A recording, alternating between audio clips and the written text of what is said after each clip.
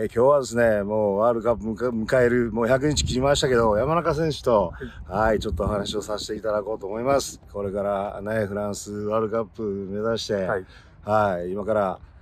合宿に、そうですね。この6月の合宿というのはすごくしんどいというか厳しいと思うので、そこをしっかり乗り切っていきたいなと思います。ちょっとワールドカップに向かっての抱負を、そうですね。ここからやっぱりそのワールドカップメンバーに選ばれるまでに、うんまあ、試合もあって、あまあしっかりアピールしていって、ええいい状態でこうやっていかないといけないと思うので、ええしっかりワールドカップメンバーに選ばれるように頑張って、選ばれたらしっかりそこで結果を残せるようにやっていきたいなと思います。どうですか？ジャパンが目指すところは。そうですね、うんもうやっぱり前回のベスト8うんの結果というのはやっぱり今回はそれ以上の結果を残したいなと思いますし、うん。それ以上結果を残すためにはやっぱりもう優勝っていうところをやっぱり全員がそう意識して、うん。えーやっていかないと目標に向かっていけないと思うので、うん。それ